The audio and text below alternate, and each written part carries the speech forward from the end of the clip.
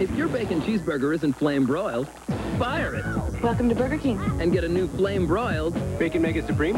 The new Bacon Mega Supreme is a third pound of beef broiled over an open flame, and flame broiling beats frying four to one. Two patties smothered in hot, crispy bacon, melted cheese, lettuce, and tomato.